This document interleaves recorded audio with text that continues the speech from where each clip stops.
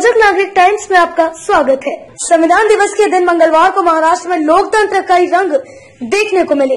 विधानसभा चुनाव में सबसे बड़े दल के रूप में उभरी भाजपा के नेता देवेंद्र फडणवीस को मुख्यमंत्री पद की शपथ लेने के चौथे दिन ही इस्तीफा देना पड़ा। और अब दूसरे तीसरे चौथे क्रमांक के दलों की संयुक्त सरकार 28 नवंबर की शाम शिवाजी पार्क में शपथ लेने को तैयार दिख रही है। इस नई सरकार के मुख्यमंत्री शिवसेना अध्यक्ष उद्धव ठाकरे होंगे।